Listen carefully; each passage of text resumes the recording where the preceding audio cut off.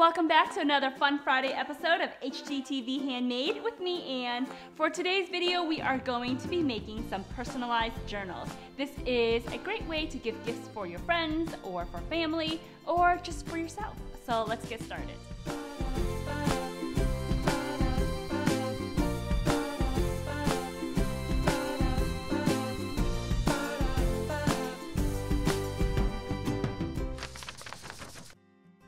Here are a few fun goodies that I picked up from my local craft store. I have an assortment of letters and decorative stickers, as well as stencils and metallic paint. If you will be using stencils, then I suggest for you to get a spray repositioning adhesive for this. This will make the job a lot easier and it will prevent paint from seeping through. And of course, if you're using paint, then you will need some paint brushes. Lastly, have some blank journals that you don't mind decorating. So before we get started, make sure to take some rubbing alcohol and clean the surfaces of your journals. This will reassure that you have a clean surface from any dirt or grease from your fingers. The first easy way to personalize your journal is with stencils. To do this, it's good to have repositioning adhesive. This will keep the stencil in place and not leave any yucky residue on your surface. So all you have to do here is spray on a light layer of the adhesive onto your desired stencil.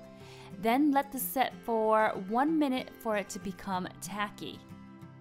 After your minute or two is up, go ahead and place that stencil onto your desired area on where you would like this to go.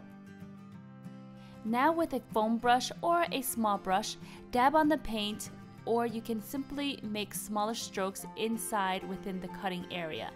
Once you're complete with your painting job, go ahead and slowly peel off the stencil before the paint dries. If you want to add another design close to your stencil area or on top of it, make sure that your paint dries completely before doing so.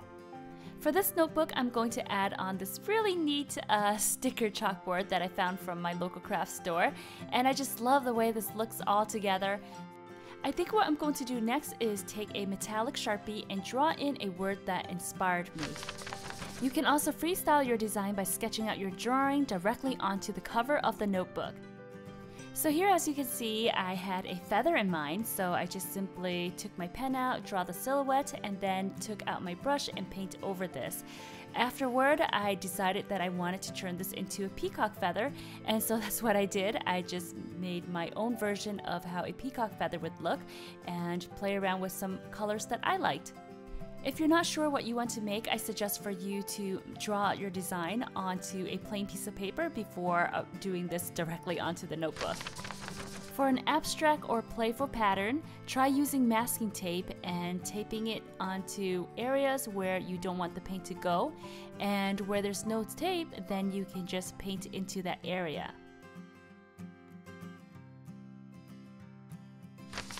For this last design, I made my own decal to stick onto the notebook and it turned out so lovely. If you want to learn how to make your own decal, I have a tutorial on that on my main channel, AnneorShine.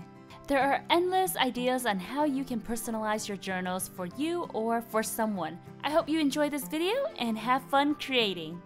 Alright guys, so I hope you enjoyed this video. If you do, then don't forget to give it a thumbs up. And also, let me know what other things you would like for me to personalize that is already in your household. I would love to hear what you have to say, and I will talk to you next Friday.